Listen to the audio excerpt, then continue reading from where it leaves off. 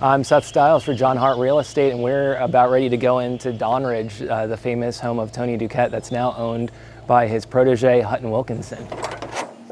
Hey. Hi, Seth. Here's Hutton. Hutton, nice to meet you. Nice to meet you. Come on in. Come on in, watch your step. So this is it. Welcome to Dawnridge. Wow. It's uh, Tony Duquette's house in Beverly Hills. The New York Times said that Tony Duquette was the first designer of the 21st century because of his ability to reuse materials. So the house, so it's, it's called the grandest house in Beverly Hills sometimes, but it's actually the smallest house in Beverly Hills. From the front door to this wall, and from that wall to that wall, it's a 30 by 30 foot box, 900 square feet. Uh, the architect was Caspar Ehmcke, who became a famous Beverly Hills and Los Angeles architect. So of course he wanted to do it very modern, house, and Tony wanted a little Venetian palace. But if you strip everything away, it's actually very modern. Well, let's show you the whole garden. Okay. So you can see it. There's this. The chandelier here hanging in the middle of the room, we decorated that in the 1970s. You can see over here, this is the giant 28 foot tall phoenix bird, uh, which was the centerpiece of the exhibition. Then around the garden, you'll see other, other phoenix birds. And in, even in the interior of the house, we have smaller ones. The house is alive. It's, it's, we move things around, we change things, we paint things, whatever we feel like doing. If, if Tony Duquette were to walk in today, he wouldn't recognize the placement, but he'd recognize the things because they were all things that he owned at some point. I'm buying things back all the time, things that he's designed for other clients. I buy everything back. So th this is the only property left on the street that has the original ravine. The, the you know, it was a, and the original name of the house was called Fiddler's Ditch. After we bought the house, there was eight days of rain and a little puff of wind, and one tree hit the other, fell down like dominoes. And there was a house here from Thailand, and it smashed the house into a million pieces.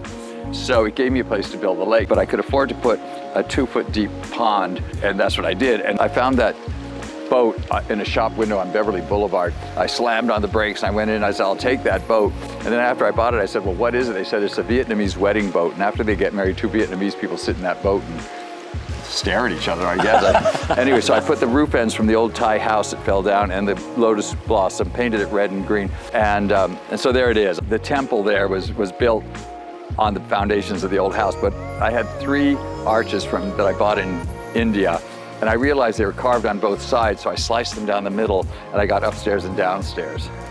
And so you you create like this was the lake that you created. Yeah. And this wasn't here. It wasn't here until like sometime after 2000. After 2000, I think Tony would like it. And I built the house next door. That's where I sleep.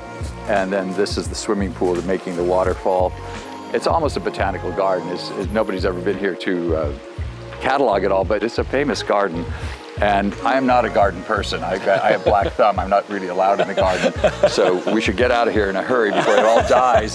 But um, I'm an interior guy. Okay. And, uh, and that's what I like. Well, let's see the interior. So this is the garden room here. Wow. And it was a one-car garage back in 1949. And through behind that screen is the is the garage door and the streets on the other side. This is where we have cocktails and we have lunch and and the sofas I bought back they were made for Tony's studio on Robertson Boulevard. There's jewelry here that's just display jewelry. This is his modern fruit from his show at the Louvre. See a lot of the bird cages. And we love bird cages, and yeah, they're really great. Some of them are 18th century, and they're great. There was the house that fell down in the garden after eight days of rain. And this is a great little room. It's comfortable. It's you know the, everything's cozy. We can all pile in here. I made this chandelier.